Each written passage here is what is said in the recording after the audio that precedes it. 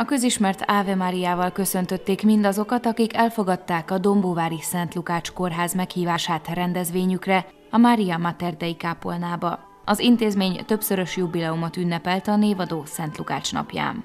Ezen a napon ünnepeljük hagyományosan most már 20. éve a kórházunknak a névnapját, de ma születésnapja is van, hiszen 20 évvel ezelőtt vettük föl ezt a nevet, pontosan szinte órára ebben a, a, az időben, egy nagyon szép ünnepség keretében, és gondoltuk most így a 20 éves jubileum alkalmából egy kiemelt rendezvényt szervezünk.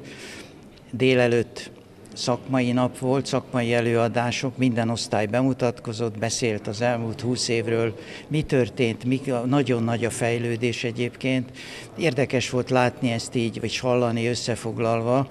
E, nekem is, aki 20 éve vezetem ezt a kórházat, nagyon érdekes és tartalmas volt, és ma délután jön az igazi ünnep, egy szent misét mutatott be Májer Mihály nyugalmazott segít, vagy nyugalmazott püspökatya, aki felszentelte a kápolnát 20 éve, e, és most pedig egy jubileumi ünnepi ülés lesz a gyógyításról, a gyógyítás Szent Lukácsi modelljéről, amiben ami az én hitvallásom szerint a tudomány mellett a lélek, a művészet és a spiritualitás is szerepet kell, hogy kapjon. Éppen ezért elfogadta felkérésünket Felföldi László püspökatya és Bogár eh, Lajos professzor úr, akadémikus a Pécsi Egyetemről, aki a tudományt képviseli. Próbálunk eh, ezt a, próbáljuk ezt a holisztikus Szent Lukácsi szemléletet a gyógyításban megjeleníteni. Ez egyébként a Mikorházunk elmúlt 20 évének is a, egy kiemelt programja volt. Az ünnepi eseményre az országos tiszti főorvos is meghívást kapott, aki beszédében hangsúlyozta, mindig öröm számára, mikor Tolna megyébe hívják. Azt mondja a Szabó Magda Kossuth Díjas írónk, hogy a világ olyan gyönyörű, hogy egyre nagyobb felelősség embernek lenni.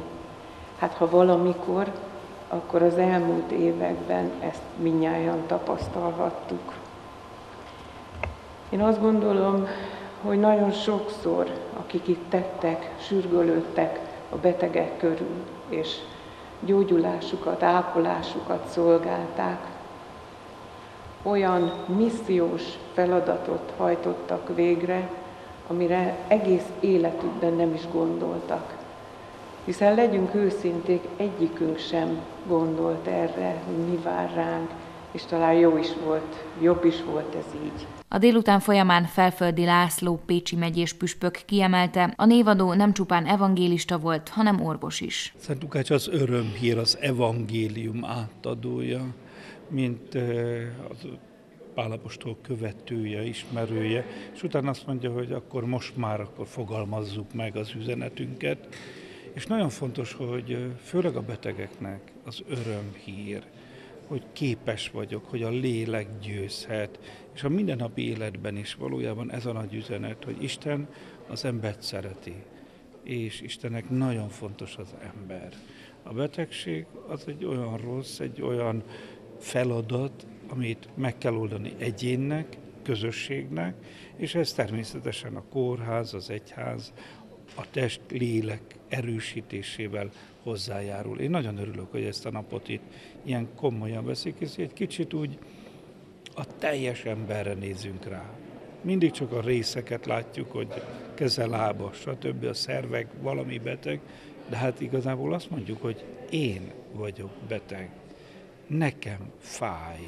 És ezt kell erősíteni, gyógyítani, hogy mindig örömmel, szeretettel, egyre gyógyultabban tudjunk élni. A hit az egy olyan erő, egy olyan csoda, hisz a természet fölötti erő nem valahol van, itt van, velünk van. És azt akarja az Isten, hogy éljünk vele. De hogy hogy tudok vele élni? Na ez a hit. És ezt igazából föl kell fedezni, ezt tanulni kell, és azt gondolom én, hogy gyakorolni is kell újra és újra az életünkben, de lehet másoknak is segíteni, akár a saját hitünkkel, akár az ő hitének a felébresztésével. Az érdeklődők számára a professzor dr. Bogár Lajos, a Pécsi Tudományegyetem általános orvostudományi karának tanára Tudományos kutatás a gyógyítás szolgálatában címmel tartott előadást, hogy miként segíti az elméleti és gyakorlati orvostudományi kutatás a gyógyítás módszereinek javítását. A végső cél természetesen az, hogy az emberek életminősége javuljon, és ez nagyon hang, hangsúlyos, hogy nem pusztán az élet meghosszabbítását szeretnénk az egészségügy által biztosítani, hanem az a cél, hogy az emberi életminőség legyen jobb. Mi magunk is nap mint nap érezzük azt, hogy több és jobb eszközzel dolgozhatunk. Ez akkor eredményes igazán, ha a beteg maga is érzi ezt a változást. Éppen napokban kérdeztem sebész kollégát arról, hogy a beteg ezt megéli, hogy most már robot segítségével operálják, és a válasz az határozottan igen volt, mert sokkal kevesebb szövetsérüléssel, gyorsabb gyógyulást eredményezve kerülhetnek ki, majd hogy nem teljesen gyógyultan a kórházból a betegeink. A Dombovári Kórház Szent Lukács napi hagyományos rendezvénye idén is egy különleges jubileumi alkalom volt.